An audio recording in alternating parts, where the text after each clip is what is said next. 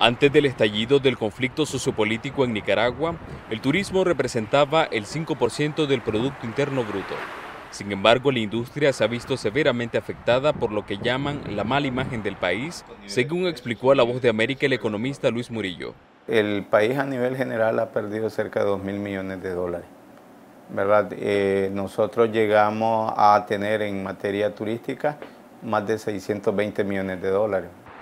De acuerdo con Leonardo Torres, presidente de la Cámara Nicaragüense de la Micro, Pequeña y Mediana Empresa, en los dos años de crisis sociopolítica, un significativo número de empresas han cerrado por falta de visitantes.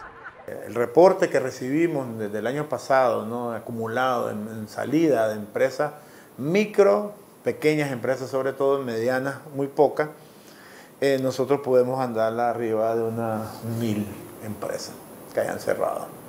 Por las dificultades que enfrenta el sector turístico, el diputado oficialista Walmaro Gutiérrez responsabiliza a la oposición de querer destruir la economía.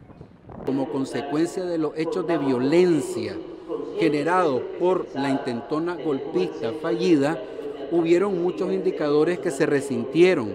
Por ejemplo, la caída de la inversión extranjera, Economistas nicaragüenses coinciden en que mientras no se solucione la crisis a través de un diálogo, no se mejorará la imagen de Nicaragua.